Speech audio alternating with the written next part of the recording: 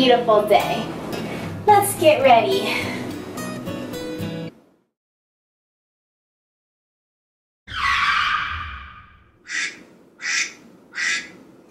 Oh! Mm. Where's the snooze? Oh my gosh, what time is it? Let's go.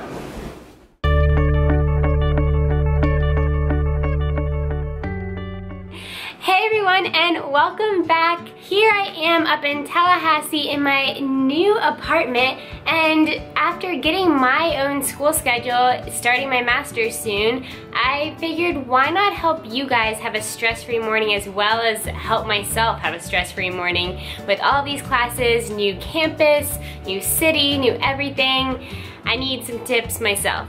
So let's just get to tip number one. Tip number one is get to bed at a decent time.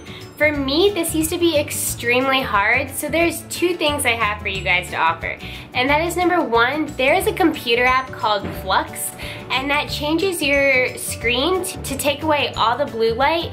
And so if you're on your computer late at night and you have to be, that kind of helps just not keep you up as long because I know that blue light is supposed to keep you up longer and that's why they tell you to not be on electronics before bed. But if you have to, download that app, it's great.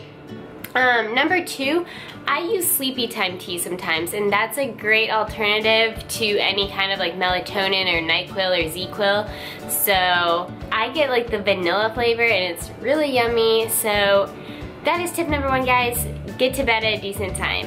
Number two is to prep your breakfast the night before. And that is so easy to do. I love making overnight oats, which you can just make ahead of time, stick in the fridge, and it's ready to go and grab in the morning. Or you can just put everything that you're going to put in your smoothie in a bag and then just throw it in the blender in the morning and take it to go if you have one of those single serving bullets. So that is tip number two. Tip number three is just to set your outfit out ahead of time because there's nothing like finding the perfect outfit when you're rushed on time. You feel like nothing fits, at least I do, or nothing looks right. So just plan it ahead of time, pick out what you're gonna wear the night before, and that saves so much time and stress. Tip number four goes along with laying out your outfit ahead of time and that is just checking that you have everything you need for class or work. The big bag that I take to class every day, I just look in there and check to make sure I have my folder, my laptop, or my iPad, and everything I could possibly need, any assignments I have due the next day, make sure that they're already all in the bag and prepared so that I'm not running around like a chicken with its head cut off trying to figure out where everything is the morning of. Tip number five, do you need some extra motivation to work out in the morning before your class or before work? What I do personally is wear my workout clothes to bed. Now that might sound weird, but workout clothes for me are actually pretty comfy. I just wear a sports bra and spandex and it really does help me because if I wake up and my alarm goes off and I'm already in my workout clothes, that makes me that much more willing to get up and get my workout in before heading off to class. Number six. Now, you might hate me for this one, but put your alarm clock, or my phone is my alarm clock, across the room from wherever your bed is because that way you will not hit the snooze button or turn your alarm off when you're half asleep like I sometimes do. And oh you gosh. won't be stressed out when you wake up an hour late and oh think, oh my gosh, I'm already late for class, I need to rush. No, because when your alarm goes off and your alarm is halfway across the room, you will have to get up to turn that alarm off or press the snooze button and you're less likely to press the snooze button if you're already out of bed. Number seven is prep your coffee or make it ahead of time if you like iced coffee. I use my Keurig 2.0 K250 brand and it's so great because it's small so it fits in my apartment, it fits in any dorm, and it's just the one cup K-Pod things and so all you have to do is sit it in there and you are ready to go in the morning. All you do is lower the handle and press your cup size and you have a full cup of coffee ready to go already. It's so simple. One cup coffee makers are the way to go.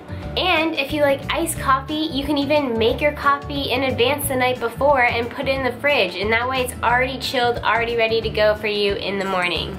Eight is just starting your morning with something calming, whether that's stretching or yoga, or for me, it's just reading a devotional in the morning. Start your day with something that just is calming to you, relaxing to you, and really gets you in the good mindset. Number nine is leaving ample time to get to school or work on time. That way, you're not rushed, you're not driving like a maniac, or if you're close to campus, you choose to walk and do the healthy choice instead of taking the bus or your car. And number 10, guys, go with an easy hairstyle. I love just throwing my hair up in a messy bun or messy ponytail. And that saves you so much time because I know I don't have more than five minutes to spare in the morning on my hair. So no curling, no straightening, no blow drying or anything. I just throw it up and we are good to go. So I hope you love these tips, whether you are a high school student, college student, or in the work world as an adult like I kind of am.